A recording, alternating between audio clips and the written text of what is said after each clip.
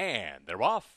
In the Saturday night feature, late in the game, stumbled a bit at the start. Remy Showtime wastes no time. Heading out to the front, has it by two lengths by the time they complete a 16th of a mile, and Social Chic will now move up to challenge from second.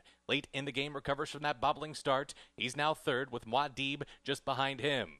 And then comes Candy Invasion, and no change is held up at the back, and already better than eight lengths off of the dueling leaders who have run away from the rest of this field.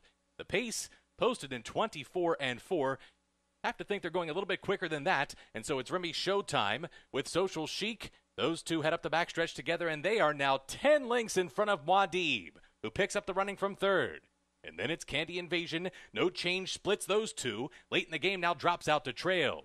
So Remy Showtime and Social Chic continue their match race into the far turn. Now eight lengths to the good over no change in Muad'Dib. Those two superstars move as a team, but Social Chic strikes the front from Remy Showtime as they hit the far turn. And then Muad'Dib and no change closing in quickly with each and every stride, peeling ground off this top two. Social Chic to the top of the stretch in front. Muad'Dib to the attack. No change trying to work into the clear. It's Muad'Dib over the top who sweeps up to take the lead. It's Muad'Dib. Social Chic battles him down to the wire. Muad'Dib and Social Chic. Muad'Dib on his birthday. Abnel beats Arnaldo with Muad'Dib over Social Chic. No change. Will settle for third in 120 and 2.